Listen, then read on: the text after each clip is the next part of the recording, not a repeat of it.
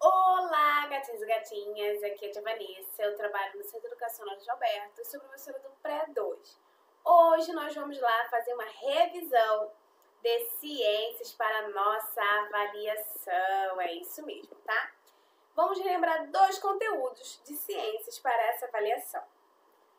O primeiro conteúdo será, hum, sei que vocês conhecem, sobre seres vivos. Para iniciar esse assunto, vamos lembrar: seres vivos é tudo aquilo que tem vida, certo? Aquele que nasce, que cresce, que reproduz e que morre, tá? Tem uns que nascem, alguns seres vivos, eles vão nascer da barriga da mamãe. E tem outros seres vivos que vão nascer de ovos, certo? Que serão os pássaros, tem a tartaruga, mas isso nós vamos ver. Então não podemos esquecer que ser vivo é tudo aquilo que tem vida, que se mexe, tá bom? Que tem vida. E que nasce, cresce, se reproduz e morre. Então vamos lá, gatinhos, vamos ao primeiro exemplo. Primeiro exemplo nós vamos falar dos animais. É isso mesmo. Aí temos o jacaré, temos o leão, o elefante, um pássaro, certo? Aí temos peixe, temos tartaruga, temos muitas, muitos animais, muitos exemplos, tá bom? O que, que a gente quer falar pra vocês? O leão, o elefante, ele vai nascer de onde? Da barriga da mamãe, certo? Já o jacaré e o passarinho, eles vão nascer de ovos. Mas vão deixar de ser, ser, ser vivo?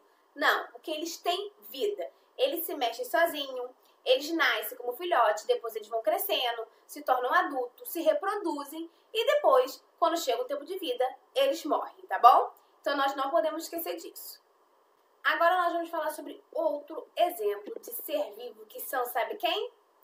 As plantas, isso mesmo. O que, que acontece com as plantas? Vai lá, a sementinha cai na terra, ou nós seres humanos, seres humanos mesmo, plantamos essa sementinha, cuidamos dela, damos comida, damos como é que é comida? Solzinho, água, ela vai crescer, vai ficar grande, vai reproduzir como, tia Vanessa? Dando flores, dando frutos e chega uma fase da vida que ela também vai morrer, tá bom? Temos muitos tipos de plantas, temos árvores, temos flores, né? Temos plantinha grande, plantinhas pequenas, mas todas elas são ser vivos, porque elas precisam o quê? De respirar. Como os animais respiram, as plantas também vão respirar, certo? Então, essa é uma característica do ser vivo. Ele respira, ele tem vida, ele se mexe, certo? Sem depender de ninguém. O próximo exemplo de ser vivo é quem? São os insetos. Aí a tia trouxe para você alguns insetos que tem borboleta, tem abelha, tem formiga, tem caracol, tem joaninha. Tudo também é, são ser vivos, tá bom? Que eles nascem, crescem, se reproduzem e depois morrem. Tem os animais grandes, mas também os pequenininhos, que também são ser vivos. E vamos falar por último ser vivo, que é quem? Nós, os seres humanos, isso mesmo. É o ser vivo mais conhecido, né? Somos nós. Nascemos da barriga da mamãe como bebê, crescemos, nos tornamos criança, depois adolescente, depois jovem, adulto, nos formamos, fazemos, nos formamos família, depois, com o tempo, nós vamos ficando mais velhos e chega uma hora que também nós morremos, tá bom? Então, esses são os exemplos de seres vivos, tá? Então, gatinhos, acabamos de falar sobre os seres vivos e agora vamos falar sobre os não vivos. Uma grande diferença dos seres não vivos é que eles não têm vida.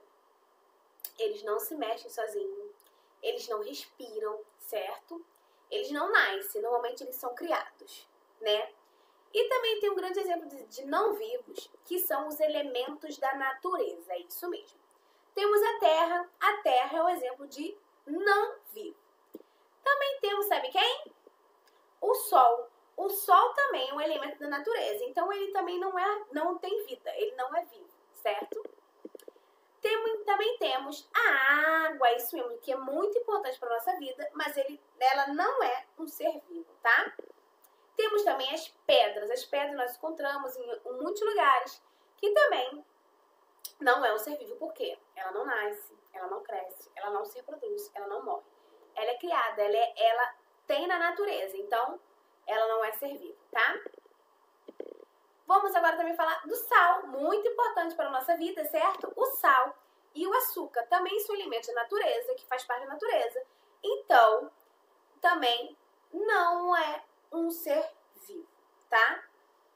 Então, vocês não podem esquecer, gatinhos, alguns elementos da natureza, como sol, água, terra, nuvem, raio, chuva, sal, açúcar, tudo isso é não é, é, é, são seres não vivos, não têm vida, não respiram, certo? E também eu trouxe para vocês um exemplo de objetos. Isso mesmo, usamos, tudo que nós usamos, que nós que a gente pega, que leva de um lugar para o outro, tudo que precisa de nós para se locomover, que foi criado pelo ser humano, foi criado pelo ser humano, não tem vida. Como exemplo aí, esses objetos. Tem muitos outros, muitos outros. Tudo isso aí é ser não vivo, tá bom? Então vamos lá. Ser vivo é tudo aquilo que tem vida, é tudo aquilo que respira, é tudo aquilo que nasce, cresce, se reproduz e morre.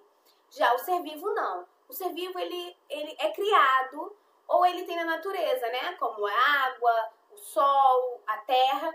E aí são os objetos, tá ok? Tudo isso aí é, não é ser vivo, tá?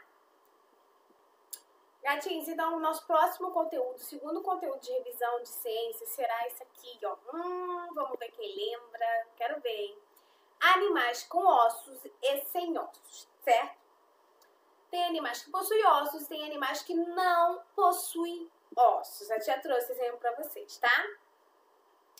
Temos aí vários animais, certo? Hum, mas sabe também outro animal que é racional? Hum, quem será? O humano.